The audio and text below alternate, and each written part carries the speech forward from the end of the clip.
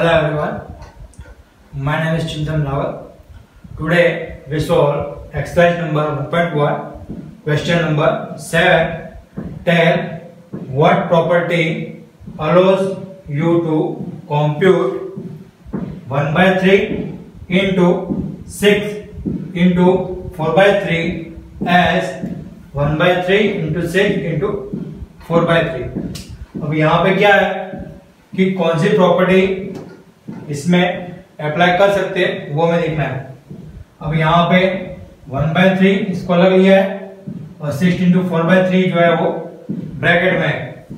यहाँ पे one by three into six है, और यहाँ पे फोर बाय थ्री ब्रैकेट में for example here we take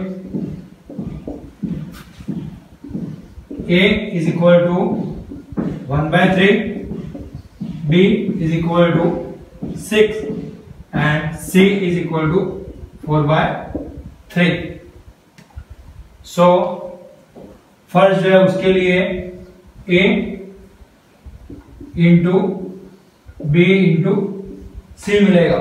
ठीक है? इज़ इक्वल टू यहाँ पे क्या होगा? ए इंटू बी इंटू से ये प्रॉपर्टी हमें मिल रही है। इसमें ये कौन सी प्रॉपर्टी है, वो हमें देखनी है। तो आप लोगों को ये पता है कि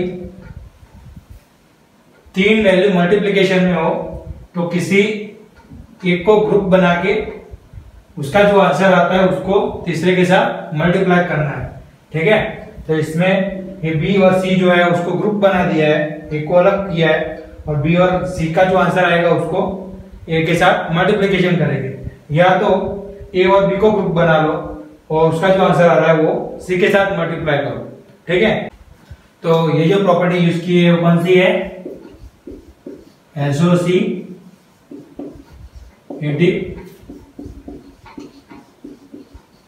प्रॉपर्टी तो हमें यहाँ पे आंसर मिल गया है क्वेश्चन नंबर सेवन का। ठीक है? This is the answer of the question number seven we will meet और next video so see you soon